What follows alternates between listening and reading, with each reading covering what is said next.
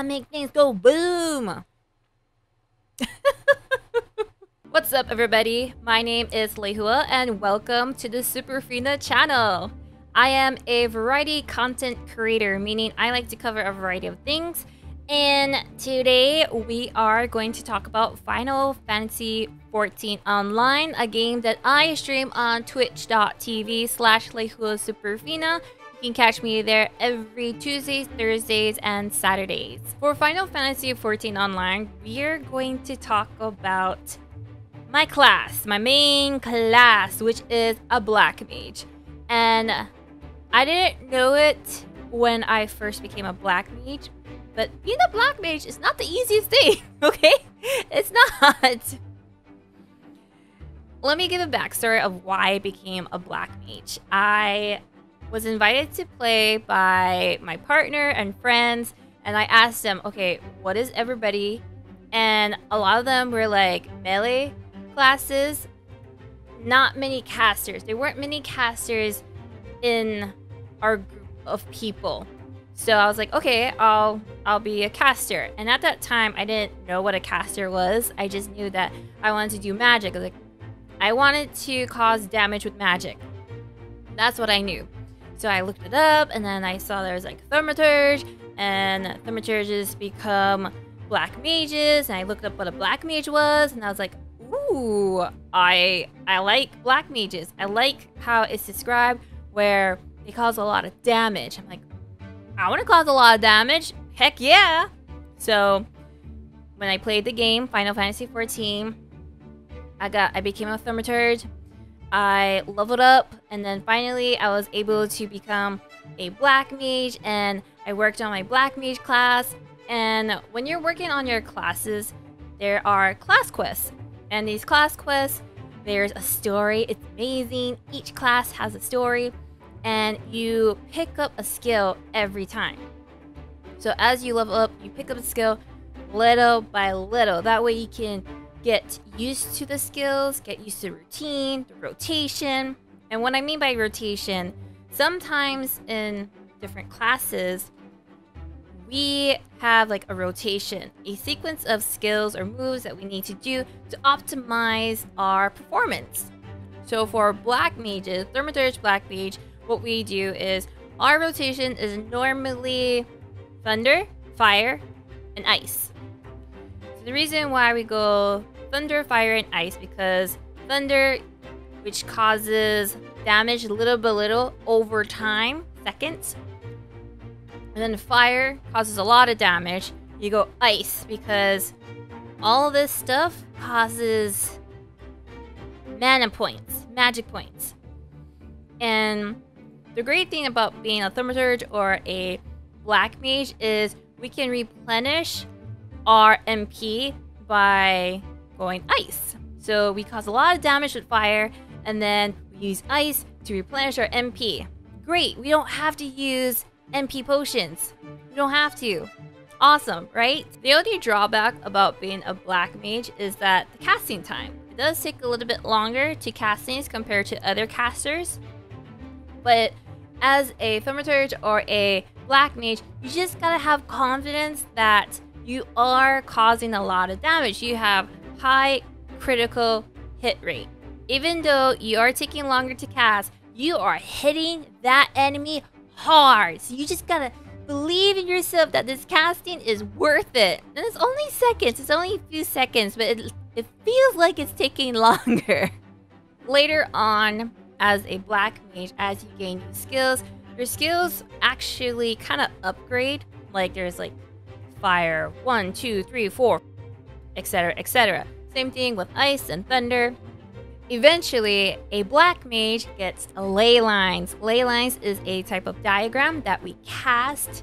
We are standing in it, and it helps reduce the casting time so we can cause damage as fast as we can within the ley lines, but then the ley lines only last for about 30 seconds. You better utilize that. Now, the drawback of having the ley lines is it is stuck in place. So when a enemy attacks us fellow black mages, we're like, crap, we need to get out of our ley lines. So at one point, we just run out of the ley lines. And then we run back into the ley lines. Later on, we get this ability that lets us latch onto an ally and transport to them. And we get another skill that lets us transport us back into the ley lines. That is amazing. Amazing. It really helps. The drawback of that is it's not easy to do with a controller. It's not. It's not easy to do that with a controller. As a black mage, one of the inside jokes is we take hits. We stay in place, stay in the AoEs, and we just take the hit. And a lot of people get annoyed with that. Experienced players, such as healers, when they see that they're in a party with a black mage, they're like, okay, there's a black mage here, so they might have to take a hit so they can cause damage to the enemy. They're understanding. While there are other players who aren't as understanding, and the common thought is, why are they standing in the AoE? Why are they not getting out of the AoE? Well, the thing is, we're casting, and if we move, it interrupts our casting, and we have to start all over again. Remember when I said that we have a rotation? Thunder, fire, ice.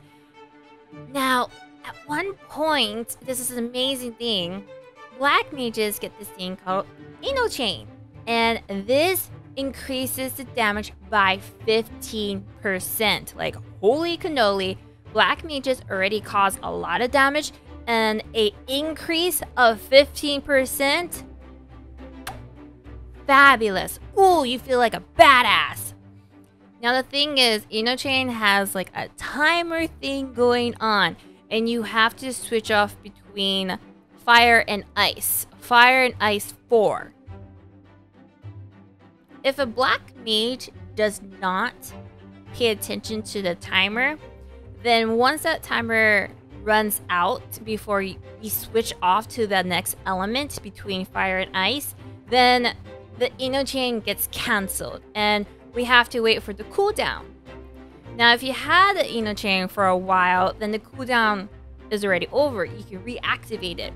The thing is, sometimes there are some situations where if we move, it interrupts the casting, right? And what if we needed that cast to keep the Enochian alive? What are we gonna do? Wait for the cooldown so we can activate the Enochian again? Or we'll just stand there and take the hit after we cast? Black mages have priorities. and everyone's a little different. For me, I like to just take the hit because I want to keep my Enochian alive. I want to be able to hit the enemy hard as long as I can. And you know what? I got health potions ready. I'm like, I'm ready to take the hit. I got it. And I like to set my equipment with a lot of defense. A lot. So I can take the hit, you know? It's like, it's okay. I can take the hit. I got it. I got it. And you know what? Black mages, we do have a mana ward. Mana ward acts like a shield, which helps a lot. Thank God we have a mana ward. Thank God. Oh, thank you. Thank you. Thank you, developers who thought about black mages and their casting time and giving them that mana ward. Thank you. Now that I've talked about all the mechanics of a black mage, what I really want to talk about is being a black mage with a controller. Like I said before, it's not easy being a black mage with a controller, and I'm going to explain why. So, sometimes when we need to go to a different hotbar, there's like multiple hotbars, multiple. For people with controllers, they need to like pull the trigger twice, like tap tap. Or they like hold one side, hold the other so they can access a different hotbar. hotbars are usually put in like pairs. Pair 1, pair 2, pair 3, pair 4. And there's always a side for these buttons and these buttons. And to make sure we're pressing the right buttons, we have to hold down on the trigger. So say I'm using this side right here. I have to hold down on R2 and then press one of these buttons here. We have to be mindful of that. While people who play with a keyboard or mouse, they can just click, click, click, click, click. Another thing about playing with a controller is selecting your enemies. Fortunately, with a controller, if we're holding on either of the triggers and pressing one of the bumpers, it will select the enemy for us. So it's like awesome, fabulous. And as a black mage, I like to hold on to this and then pick an enemy, attack, switch, attack, switch. I like to rotate the enemies too. Because I was taught if I concentrate on one enemy, that will throw off the tank. And I don't want to throw off the tank. I don't want to be the one who causes a mess up, okay? Here's the part where it's a little bit challenging for me. Remember when I talked about ley lines and there's a skill that lets us transport to a ally so we can get out of the AoE if the AoE goes on top of our ley lines. It's not easy selecting an ally with the controller. I haven't perfected that yet and actually I don't even try because it's it's like, okay, I need to find an ally, but my allies are moving around, right? And I need to find an ally that's not in an AoE also. And I don't want to pick the tank because the tank is keeping the enemy's attention. So it's a little challenging for that. So what I do is I don't even bother transporting to my ally. I just run away from my ley lines. And when I see that it's safe, then I transport to it. so the transporting great. The transporting's great. It's just that it's not easy to transport to an ally. Which I wish I could perfect better to make it easier for me. Because it would. It would it would make it easier for me. I really like being a black mage. I like knowing that I am causing a lot of damage. I feel like a badass, a pyro badass. I'm like, oh yeah, motherfucker, I'm black mage. I make things go boom. I like to say that. I like to think about that. So when I don't have the ley lines or triple cast, triple cast is another thing that speeds up the casting, but you can only use up to three spells within triple cast. Hence, triple cast. If I can't use ley lines or triple cast because they're on cooldown, then I do feel like it's taking a little bit longer to cast. But that's fine for me because I know that I'm causing a lot of damage. I am being a badass casting machine, okay? I make things go boom. there was one point in the game where I totally lost confidence in my ability on being a black mage. And that was when I was fighting a character named Lord Zenos. It was the first fight with him. And it was a survival fight. And I didn't know that. And the key thing is to destroy one of his spears. So what he would do is in the border we're in, in our stage, you like throw down these spears, and these spears all have AoEs, and the AoEs overlap each other. And I didn't know I could destroy the spears. So I kept dying and dying and dying. Eventually, someone told me, like, oh, you need to destroy one of the spears so an AoE disappears and you can be safe in that non AoE area. I'm like, oh, what? Damn. So finally, I figured that out after someone told me about it. I try to destroy a spear. But remember what I said that you gotta hold on to this trigger and then press the bumper? Now, build that. The target that's selected isn't what you have in mind. Sometimes it's a target that's like far, far, far from you. and it's like shit. And you have to like rotate rotate rotate rotate. And you're like oh no. So you have to like switch switch switch switch until it selects the target you wanted. And that takes time.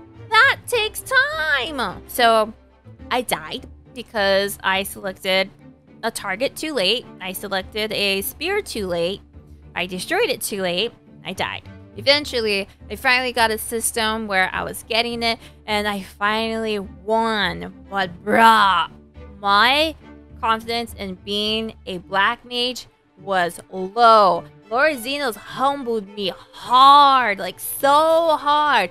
My thing saying, I'm a motherfucking black mage, I make things go boom. I was like, I'm a black mage, I take a long time to make things go boom.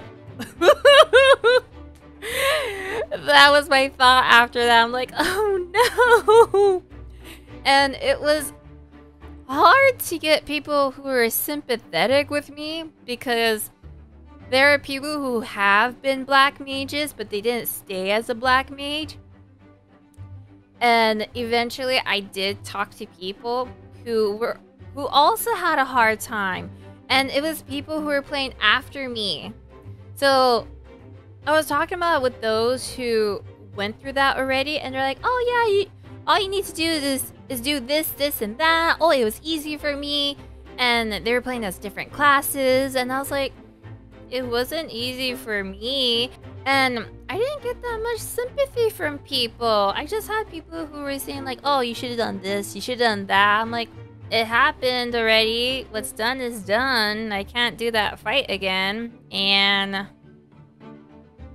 why are you critiquing what I already did? I just felt a little lonely because I just didn't have people who understood where I was coming from.